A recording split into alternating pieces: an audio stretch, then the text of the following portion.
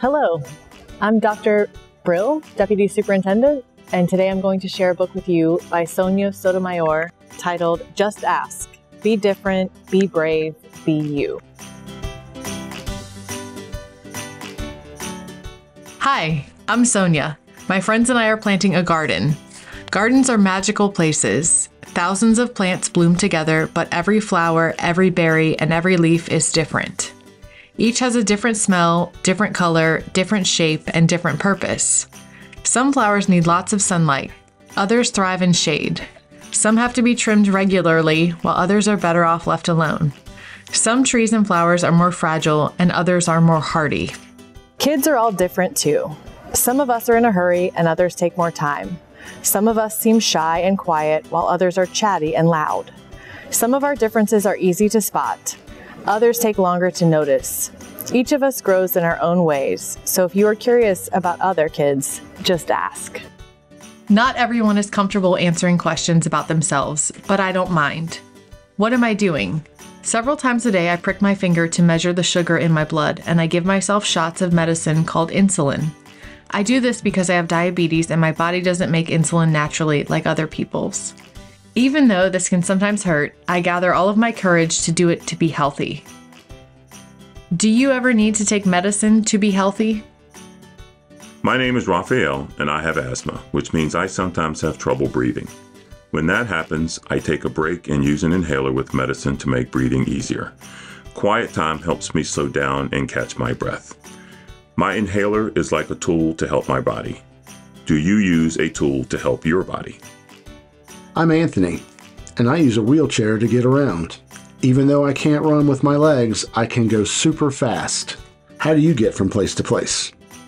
My name is Madison, and my guide dog Lucky helps me get places safely because I'm blind. My friend Arturo is blind too. He uses a cane to get around. Even though we can't see, we strengthen our other senses and notice lots of details others may miss. We can hear with our ears, smell with our noses, and feel with our hands. How do you use your senses? I'm Vijay. I learn about the world differently because I can see, but I can't hear. I'm deaf. Most of the time, I communicate with people using my face and hands through sign language. It's cool to know another language. I also love reading and writing. What about you?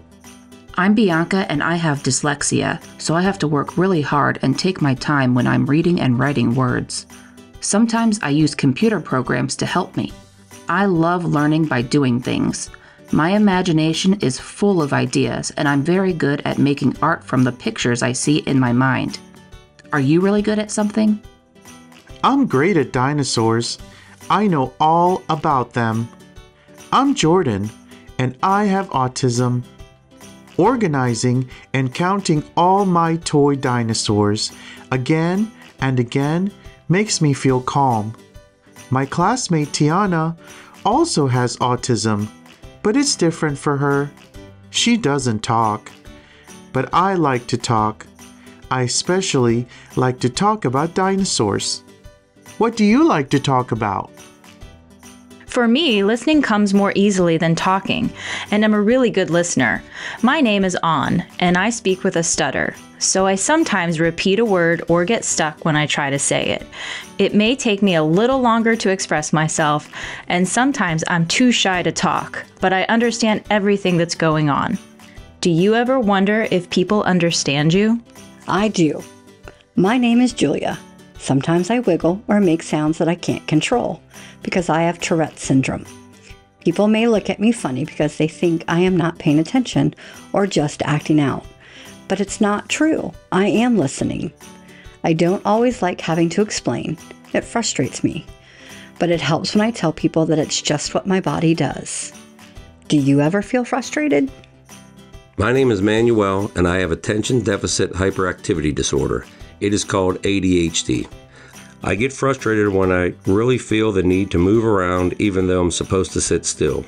When my teachers and friends are patient with me, if I forget something or get distracted, I can get myself back on track. What's helpful to you? I'm Nolan. It's helpful to me when the food I eat has a clear label that says it is nut free because I'm allergic to nuts. They can make me so sick that I would have to go to the hospital if I ate any, even by accident. So I always tell people about my allergy and ask if any food has nut ingredients. Speaking up keeps me healthy. How do you use your voice? I love to sing and I love to talk. I love to make new friends and be included. I am Grace. I was born with Down syndrome.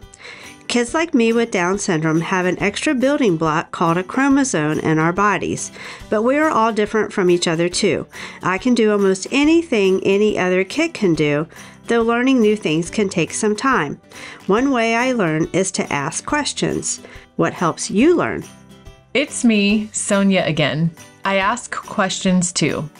When something seems different or new, I just ask my parents or my teachers and they help me to understand, especially if my friends don't feel ready to explain. This is what I've learned. Imagine if all the plants in this garden were exactly the same. Like, what if we could only grow peas? That would mean no strawberries or cucumbers or carrots. It might also mean no trees or roses or sunflowers. Just like in our garden, all the ways we are different make our neighborhood, our whole world really, more interesting and fun. And just like all of these plants, each of us has unique powers to share with the world and make it more interesting and richer. What will you do with your powers?